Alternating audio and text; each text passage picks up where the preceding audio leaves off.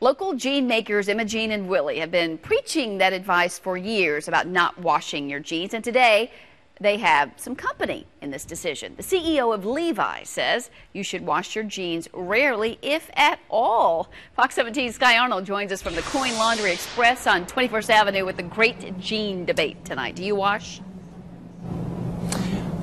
Well, I do wash. I have to admit, I'm a, I'm a washer, but some say it's the worst thing you can do, taking your jeans, washing them regularly, even worse still, taking them over here and sticking them in the dryer. But a lot of folks are doing it, again, me included, so we went to some local jean experts to ask them what's so wrong with the wash. I think it's the most beautiful thing on earth. Carrie Eddmenson started creating jeans.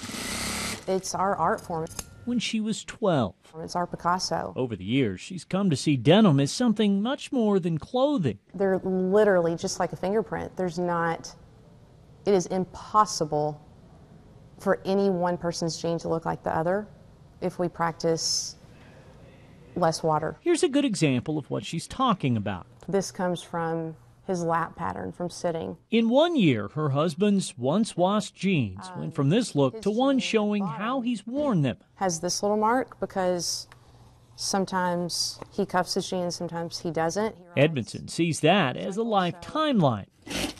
And it's why her company, Imogene and Willie, encourages customers to wash their jeans very little, if ever. The truth is, I don't wash my jeans, but Febreze is a magical um, solution. Eddmenson says when she does wash them, it's usually with water only, or maybe a little woolite, and always line dry. But it's a concept. Uh, they get dirty, uh, they smell. A lot of people just aren't ready to embrace just yet. Will definitely smell, and they'll stretch out. I personally like to wash my jeans because they're hot and they get sweaty and stinky. Fears of smell and sanitation are a big turnoff.